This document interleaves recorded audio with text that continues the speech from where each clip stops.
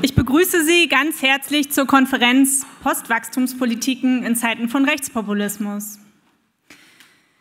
Zunächst einmal einen ganz herzlichen Dank an die Heinrich-Böll-Stiftung dafür, dass sie diese Konferenz mit uns ausrichtet und sie in ihren Räumlichkeiten stattfinden kann. Besonders an Lili Fuhr, dass sie das ermöglicht hat.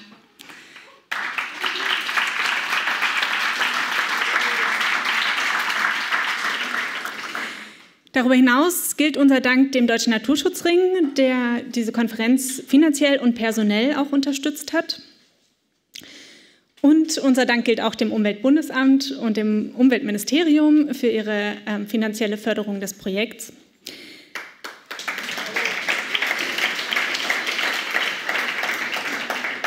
Danke auch an den Förderverein Wachstumswende für die Projektträgerschaft und einen besonderen Dank an die beiden Keynote-Speaker, die nach mir sprechen werden, sowie an alle Workshop-Leitenden und an die Teilnehmenden auf dem Podium und an unserer Fishbowl heute Abend.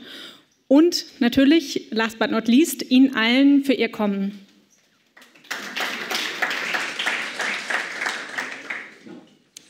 Vorab eine, ein kurzer Hinweis, es werden Fotos gemacht, wie Sie sehen, die möchten wir im Nachhinein gerne ähm, auf unserer Webseite veröffentlichen. Es werden auch Filmaufnahmen gemacht, die werden ebenso im Internet veröffentlicht. Die Filmaufnahmen werden nur vom Podium gemacht. Wenn Sie nicht fotografiert werden möchten, geben Sie der Dame bitte einfach ein Zeichen. So, ich werde jetzt kurz auf die Leitfragen der Konferenz eingehen. Ähm, und im Anschluss äh, kurz unser Projekt vorstellen, damit Sie überhaupt wissen, mit wem Sie es hier zu tun haben. Und dann eine kleine Zusammenfassung geben von dieser Broschüre, die Sie alle bei der Anmeldung erhalten haben. Postwachstumspolitiken. Genau. Wir freuen uns sehr über das große Interesse an dieser ungewöhnlichen Themenkombination. Postwachstum und Rechtspopulismus erklärt sich ja nicht so von selbst, was das miteinander zu tun haben soll. Ähm, auf den ersten Blick nämlich nicht viel. Aber wir möchten auf der heutigen Konferenz mit Ihnen vier zentrale Leitfragen diskutieren, die die beiden Schlagwörter miteinander in Bezug setzen wollen bzw. gegenüberstellen wollen. Die erste Frage beschäftigt sich mit den Gründen für die Probleme, Krisen und somit auch den Rechtspopulismus letztendlich. Inwiefern kann die Krise des wachstumsfixierten Wirtschaftsmodells als eine der Ursachen für den Aufstieg des Rechtspopulismus in Europa und in den USA betrachtet werden? Also hat dieses Wirtschaftsmodell nicht gerade die Probleme mit hervorgerufen, auf die jetzt der Rechtspopulismus die einfachen Lösungen anbietet? Die zweite Frage beschäftigt sich mit den Auswirkungen des Rechtspopulismus. Also Fakt ist, Trump distanziert sich vom Klimaabkommen und die AfD leugnet in ihrem Parteiprogramm den Klimawandel. Ähm, was bedeutet das jetzt für die Zukunft einer ambitionierteren Klima- und Ressourcenpolitik? Die dritte Frage ähm, beleuchtet die Alternativen zu den rechtspopulistischen Lösungen. Gerade in Zeiten, in denen einfache Lösungsvorschläge von rechts großen Anklang finden, braucht die Gesellschaft progressive und emanzipatorische Konzepte. Noch mehr Wirtschaftswachstum ist hierzulande keine sinnvolle Antwort unsere, aus unserer Sicht. Im Gegenteil. Wir brauchen Visionen für eine wachstumsunabhängige Wirtschaft und Gesellschaft, um ein gutes Leben für alle zu ermöglichen. In diesem Sinne möchten wir heute diskutieren, welche alternativen Lösungen eine Postwachstumspolitik zu bieten hätte. Die vierte Frage ähm, beschäftigt sich mit den Möglichkeiten der Abgrenzung oder der Notwendigkeit auch der Distanzierung ähm, von eben rechten Tendenzen oder Positionen. Also bei all die, diesen Diskussionen wollen wir reflektieren, wie deutlich sich unsere Positionen von den rechtspopulistischen abgrenzen. Wir wollen darauf achten, dass unsere emanzipatorischen Ansätze nicht von rechts vereinnahmt werden können.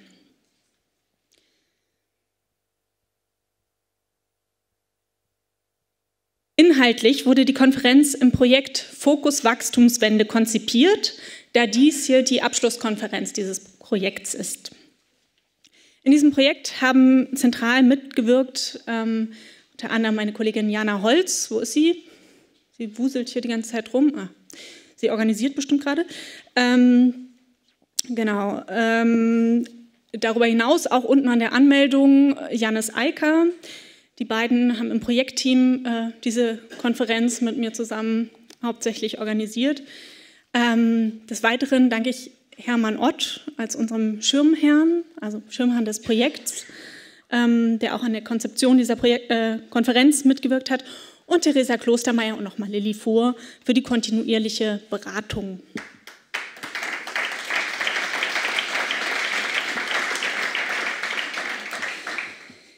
Fokus Wachstumswende ist das zentrale Projekt des Netzwerks mit dem komplizierten Namen Zivile Enquete Wachstum, Wohlstand, Lebensqualität. Dieses Netzwerk wurde im Nachgang zur gleichnamigen Enquete-Kommission des Bundestags ähm, auf der Degrowth-Konferenz 2014 gegründet. Ähm, und seitdem finden vierteljährlich Netzwerktreffen mit Menschen aus ganz unterschiedlichen Institutionen und Bereichen statt. Das Netzwerk zählt mittlerweile über 150 Mitglieder, also bestehend aus Einzelpersonen, aus zum einen Umwelt- und Entwicklungsorganisationen, dann wissenschaftlichen Instituten, außeruniversitäre Einrichtungen, politischen Stiftungen, gewerkschaftsnahen Einrichtungen, sozialen Bewegungen, Vereinen der politischen Bildung, auch aus der Verwaltung und nicht zuletzt Bundestagsabgeordnete aus verschiedenen Parteien. Im Rahmen des Projekts Fokus Wachstumswende haben wir im Dezember 2016 eine große Fishbowl-Diskussion mit über 100 Teilnehmenden zum Thema Politik ohne Wachstum veranstaltet und im Mai diesen Jahres einen parlamentarischen Abend ausgerichtet, wo wir unter anderem die Politikvorschläge diskutiert haben, die Sie in dem Papier vor sich finden. Im vergangenen Dreivierteljahr haben wir in diesem Netzwerk einen Katalog von Politikvorschlägen, eben diesen, ähm, gemeinsam zusammengestellt und ähm, darüber hinaus Strategien entwickelt für die Vermittlung von wachstumskritischen Inhalten in die Medien, in breitere gesellschaftliche Kreise und in die Politik. Und die Ergebnisse aus diesem monatelangen Prozess ähm, finden Sie in der genannten Broschüre. Ähm, und die möchte ich jetzt kurz äh, zusammengefasst vorstellen. Also, ich beginne mit dem ersten Kapitel, den Politikvorschlägen.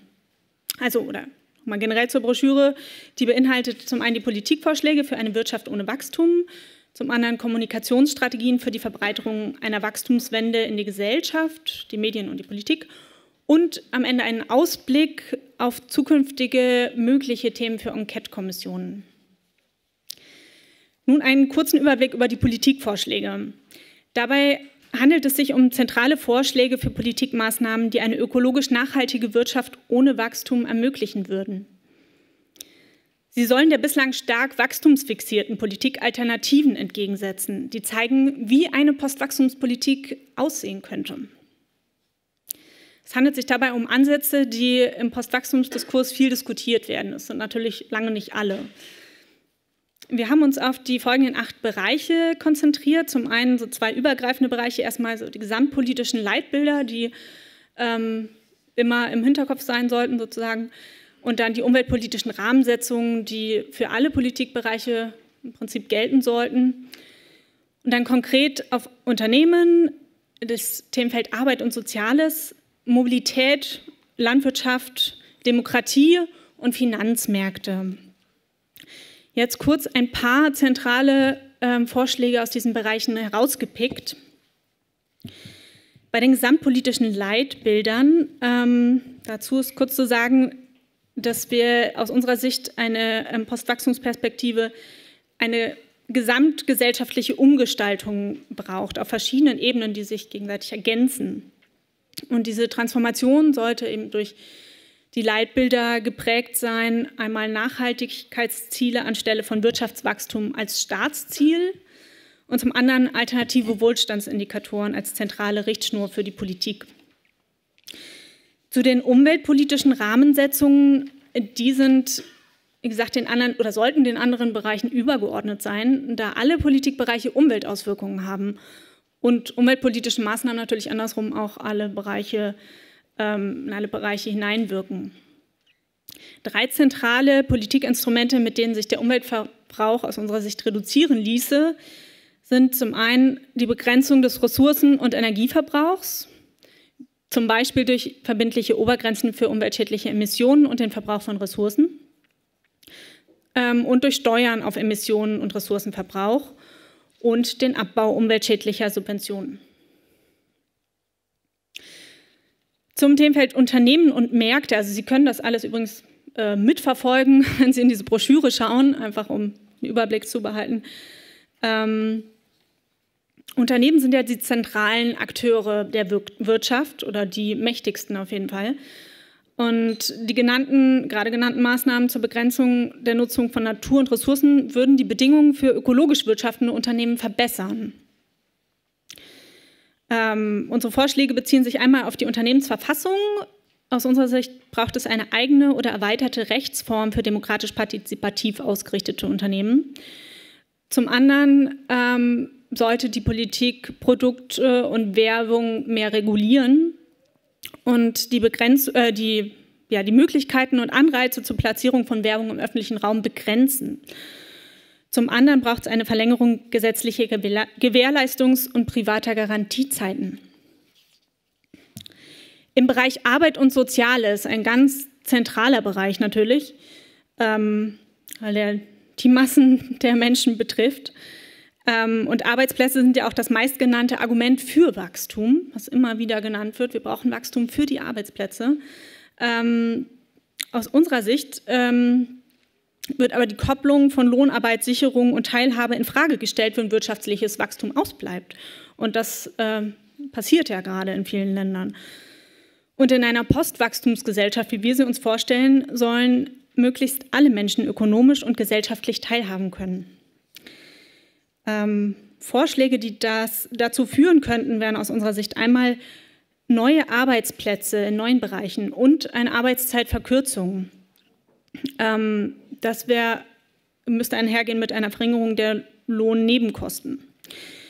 Zweitens eine Umverteilung, eine wirkliche Umverteilung von oben nach unten ähm, durch Erhöhung der Vermögens-, Kapitalertrags- und der Erbschaftssteuern sowie eine Finanztransaktionssteuer. Und drittens eine bessere soziale Grundsicherung und solidar eine solidarische Gestaltung der Sozialversicherungssysteme. Jetzt kommen zwei konkretere Politikbereiche, ähm, Mobilität und Güterverkehr. Der Verkehrssektor spielte eine sehr wichtige Rolle bei der sozialökologischen Transformation, allein schon, weil er besonders starke Auswirkungen auf den Klimawandel hat. Der Energie- und Flächenverbrauch und auch die CO2-Emissionen im Verkehrsbereich steigen in Deutschland immer weiter an. Auch die Produktion und der Kauf hochmotorisierter Pkw und die Anzahl von Flugreisen nehmen weiter zu. Ein Gegensteuern ist deshalb aus unserer Sicht notwendig, dringend und ähm, das zum einen durch Verkehrsvermeidung und zum zweiten durch eine verkehrsvermeidende Stadtsiedlungs- und Wirtschaftspolitik und eine Regionalisierung der Wirtschaftskreisläufe und ganz wichtig durch eine Internalisierung der Umweltkosten.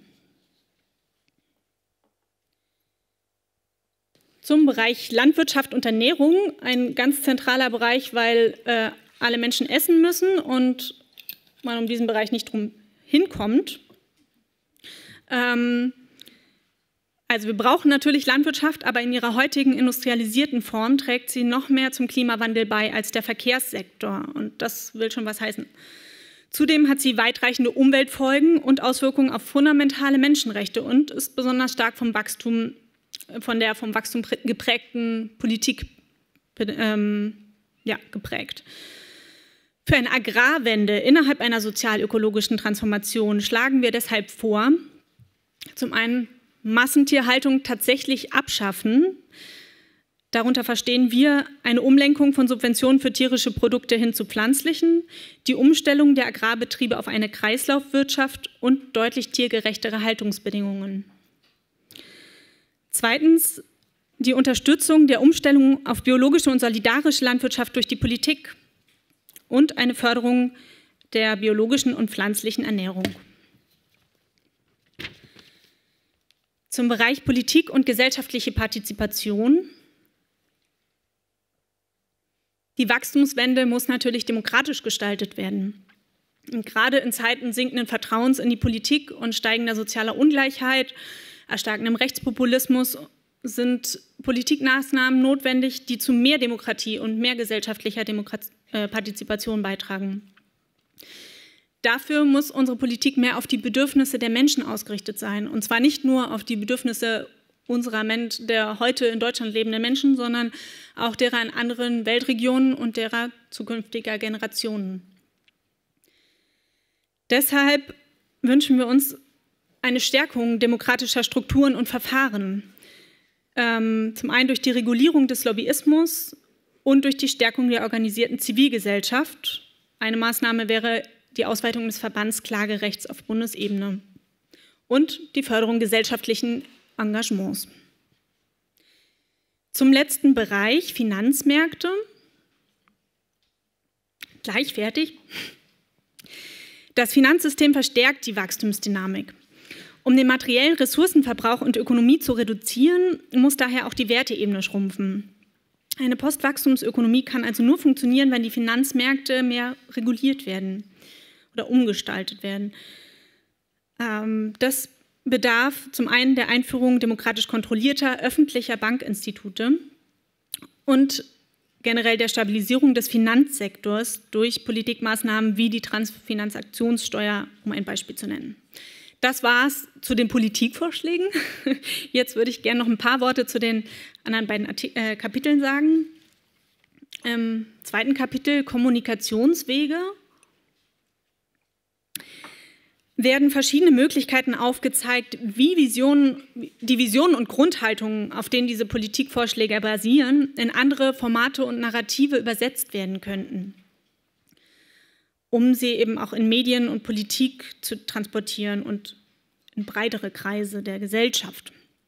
Hier werden kreative Formate empfohlen, wie beispielsweise positive Geschichten erzählen, auch mal Comics oder ähm, mit Positivbeispielen oder Ausstellungen ähm, oder auch Exkursionen anzubieten. In Bezug auf die Medien werden folgende, folgende Schlussfolgerungen gezogen. Erstens, der Blick auf die Alternativprojekte braucht die Verbindung zu einer größeren gesamtgesellschaftlichen Perspektive. Also Journalistinnen äh, vor Ort gerne zuhören. Ähm, wurde von, diese Vorschläge wurden von anderen Journalistinnen entwickelt. Zweitens, die Akteure der Wachstumswende haben viele Verbindungen zu anderen gesellschaftlichen Debatten und sozialen Bewegungen, die man aufzeigen kann. Drittens, ähm, die gängige Kommunikation muss von wachstumsabhängigem Denken dekolonisiert werden. Viertens, Medienmacherinnen tragen aus unserer Sicht die Verantwortung, wachstumsunabhängig zu berichten. Dazu gehört auch, Komplexitäten und Unsicherheiten darzustellen und zu übersetzen. Für die Kommunikation in die Politik empfehlen wir, Irritationen auszulösen auch mal, ähm, persönliche Gespräche mit Politikerinnen und Verwaltungsmitarbeitenden ähm, zu führen, konkrete und kleine Vorschläge zu formulieren und wissenschaftlich zu untermauern. Oder auch mal Wachstums, Postwachstums, Postwachstumswahlprüfsteine zu formulieren. Wäre ganz aktuell. Ähm, und die Einbettung der wachstumskritischen Aspekte in eine größere Kampagne zu einem konkreten Politikfeld wäre wahrscheinlich äh, zielführender, als das abstrakte Thema einmal zu behandeln. Zum dritten Kapitel, dem Ausblick, ähm, in Bezug auf die Möglichkeit, die Wachstumswende in eine neue Enquete-Kommission des Bundestags zu tragen. In diesem Rahmen werden verschiedene Teilbereiche des Feldes der Postwachstumspolitiken beleuchtet und auf ihre Anschlussfähigkeit an aktuelle politische Themen untersucht, um somit die ausreichsten Themenfelder für weitere Enquete-Kommissionen zu identifizieren. Und zwar, das wären die drei Felder Ressourcenpolitik, Zukunft der sozialen Sicherungssysteme und die Zukunft der Arbeit.